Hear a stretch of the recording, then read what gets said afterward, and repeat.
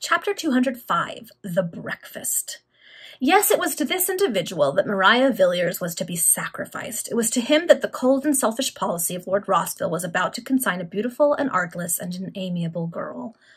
Sir Cherry's mother had paid the debt of nature about a year previously, and the young baronet found himself the possessor of an immense fortune. Lord Rossville only looked upon his orphan niece Maria as an encumbrance while she remained single, or as a means of increasing the wealth, and in his idea the strength, of the family when she married. Sir Cherry had met her in the brilliant sphere of the West End society. He had courted her, and the moment Lord and Lady Rossville observed his attentions, they commanded her to receive them with, with favour. She, poor timid friendless girl, was half persuaded into the idea that the match was really to her advantage, and half bullied, for we can actually use no other term, into an acquiescence in the views of her guardian.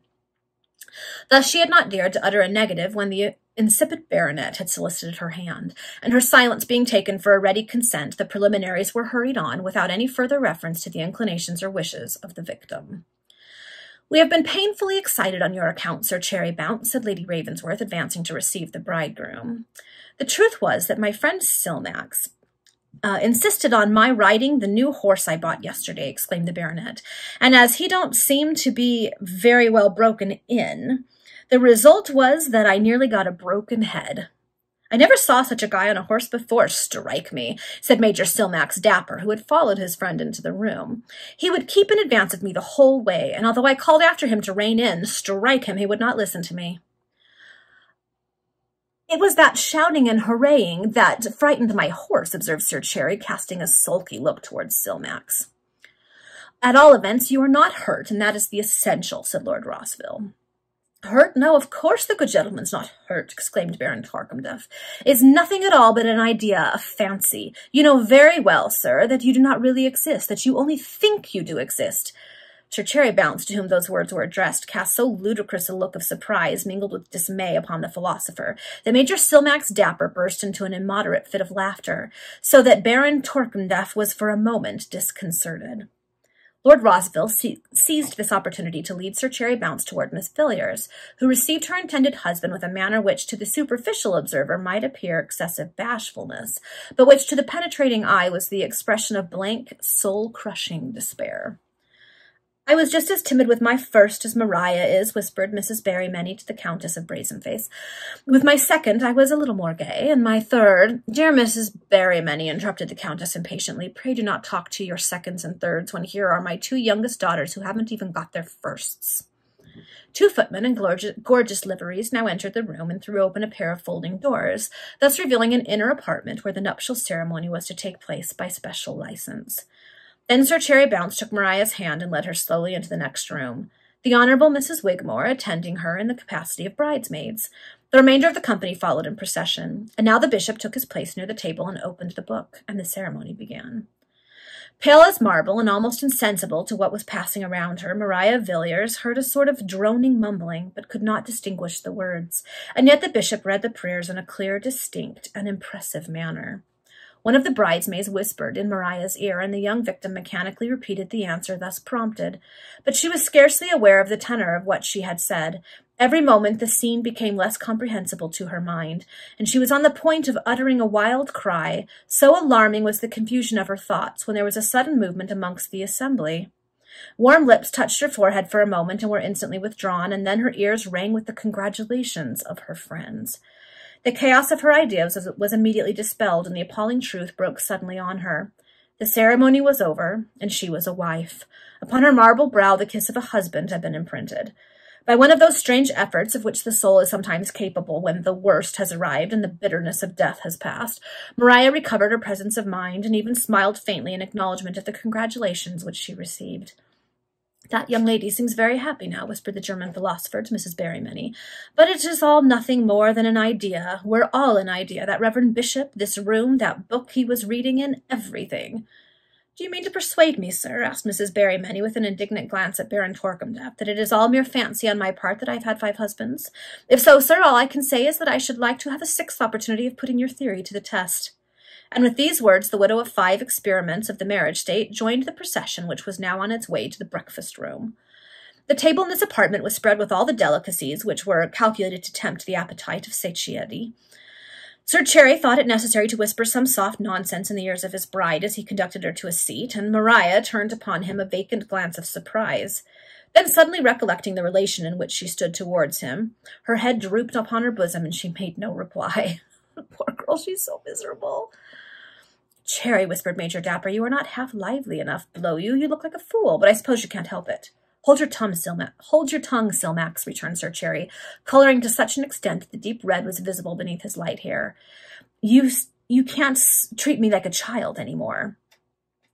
And now began the bustle of the breakfast table, and the excitement of the scene appeared to produce the most beneficial effects upon Lord Ravensworth, who did the honours of the table conjointly with Adeline, in a manner indicative of more gaiety and spirit than he had exhibited for some time.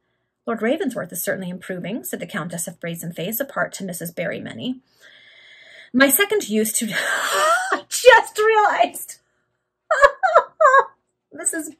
many is a play on very many because she's had very many husbands.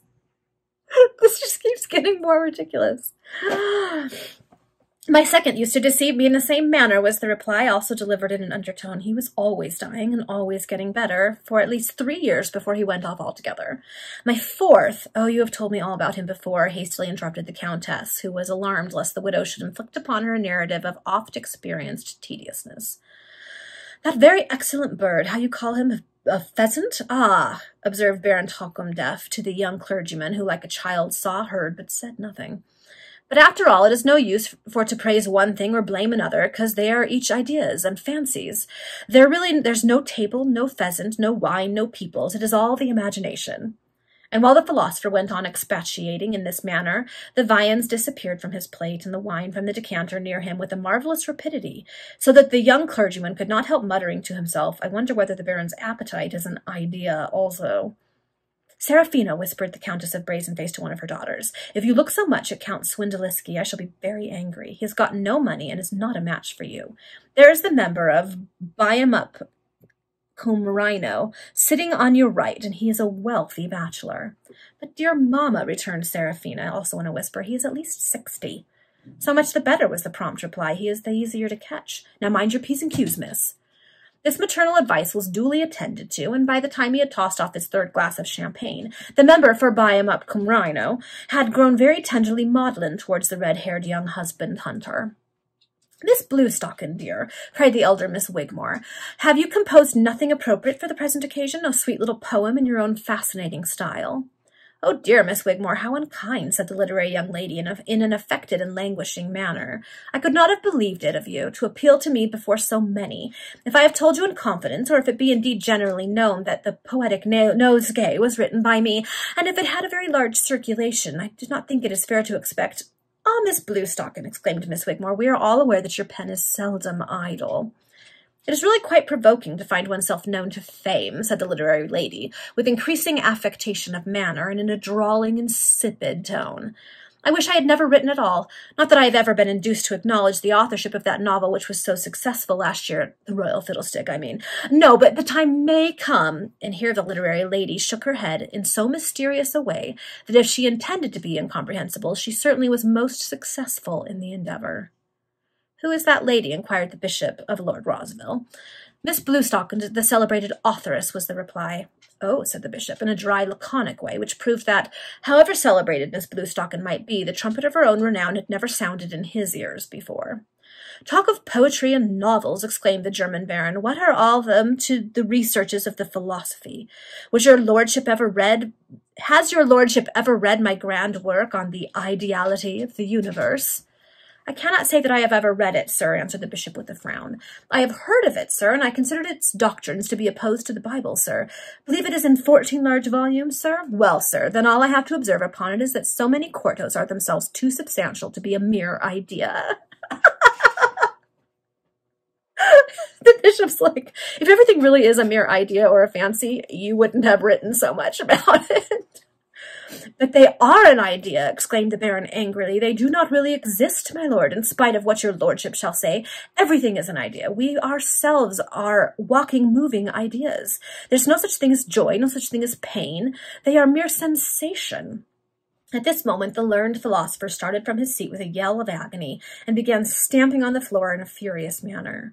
The fact was that while he was gesticulating in order to bestow additional emphasis on the enunciation of his principles, his hand, raised in the air, came in contact with a cup of coffee which a domestic was about to place before the young clergyman, and a scalding fluid was poured forth on the bald head and down the back of the philosopher.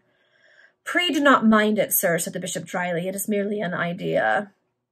Yes, it is an idea, no doubt, said Baron Torquemdef as he wiped his head with his pocket handkerchief while the domestic murmured an apology and slunk away. But the idea was come in the unpleasant shape that nothing against my doctrine. Thousand devils, how did it burn? And particularly disconcerted, the learned man sank back into his seat, where he consoled himself with a renewed application to the decanter near him. He's like, yes, it's only an idea, but it's an idea that hurts. Thought there was no such thing as pain, buddy. Meantime, Count Swindeliski was rendering himself very amiable to the Honourable Miss Helena Sophia Alexandrina Wigmore, next to whom he sat. Poland, then, must be a very beautiful country, said the young lady, duly impressed by a most graphic description which the Count had just terminated. Very fine, very fine, returned the fascinating foreigner. The ancestral castle of the Swindeliski is very, is very grand, it touches the clouds, so long that when you do stand at the end you shall not see the other, so wide that horses shall always be kept saddled for to cross the court. My father was my father kept three thousand dependents. Me not I did not choose to spend the revenue in that way. I only may keep a thousand. You and can you prefer England to your own beautiful country? inquired Miss Helena Wigmore. I shall not prefer England, answered the Count. I shall choose a wife of the English ladies. They are very beautiful, very fine, very clever. Then I will take my wife to Poland, where she shall be a very great lady indeed. And as he spoke, he threw a tender glance at his fairer companion. But Miss Helena Sophia Alexandrina Wigmore knew full well that every word the Count uttered concerning his fortune and castle was false. She was, however, too polite not to seem to believe him, and she was moreover pleased at engrossing the attentions of the handsomest man in the room. She therefore permitted herself to flirt a little with him, especially as her mother was not present to control her actions. But like all young ladies in fashionable circles, she was too astute and, and wary to entertain the least idea of a more serious connection. Breakfast was now over. A carriage and four drove up to the front of the mansion, and the hour of departure had arrived for the happy couple. Maria withdrew for a few moments in company with Lady Ravensworth and the two bridesmaids, and when she returned she was dressed for travelling. Happy fellow, whispered Major Dapper to his friend below you. Foolish Silmax, returned Cherry Bounce. I am really very happy, except that cursed wide on the fast-trotting horse. Goodbye. I shall write you within a few days. The farewells were all said, and Maria resigned her hand to him who was about to bear her away from the hall. She wept not, she sighed not, but despair was written on her marble visage, though none present could read that sombre and melancholy language.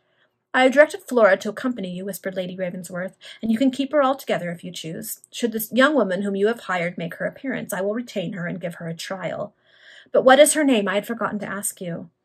Maria gave an answer, but there was such a bustle in the room at the moment, and such a confused din of many voices, that the name escaped Adeline's ears. Mm, I think I know who it's going to be. I have a theory. All right. Sir Cherry at the same instant led Maria towards the stairs, and in a few minutes the carriage containing the newly married pair was rolling away from Ravensworth Hall on its journey to Cherry Park in Essex. I wish I was bound on a similar trip with a sixth, thought Mrs. Berrymany as she watched from the window the, de the departure of the carriage. I wish I could get off my eighth and ninth as easily as the Rossvilles have done with Maria, thought the Countess of Brazenface, but I am afraid that the member for Buy-em-up cum Rhino will not bite. I wish I had not eulogized the single state in my poems, thought Miss Bluestocking with a profound sigh. I wish I shall soon find an agreeable lady that will make me the very happiest of men, said Count Swindeliski. Swindle. Just figured that one out, because he's lying about it. My gosh. After all, said Baron Torquemdef, who had recovered his equanimity by dint of frequent libations, the marriage is only an idea, a fancy, like any other thing. That handsome chariot does not actually exist, it is only an idea, and that loving pair who shall sit in it are only ideas as well. Uh, everything is an idea. I am an idea, and that Lord Bishop with the lawn sleeves is only an idea. Where is Lord Ravensworth? inquired Adeline of a, of a domestic. His lordship felt suddenly unwell a few moments ago, my lady, and has retired to his cabinet. Ah, a reaction, a recurrence to the pipe, murmured Lady Ravensworth, a cloud passing over her brow.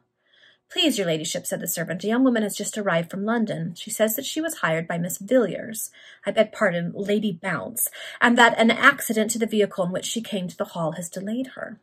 Oh, she is to remain with me, returned Adeline. Tell her that I will make take her into my service on the same terms that were arranged between her and Lady Bounce. She is to replace Flora. Very good, my lady, and the servant was about to retire. One moment, William, said Adeline, beckoning him back. Did this young woman mention her name? For as I am not yet, hmm, for as I am, did this young woman mention her name? For as yet I am really ignorant of it. Yes, my lady, answered the domestic. Her name is Lydia Hutchinson and the servant withdrew. I knew that's who it was. Lydia Hutchinson, murmured Lady Ravensworth, turning deadly pale and tottering to a seat. Are you unwell, Adeline? inquired Lady Rossville, approaching her daughter. No, a sudden indis indisposition. It is nothing, replied Adeline, and she hastened from the room. Ooh, okay, I thought that's might, might be who it is. okay, we'll see what happens.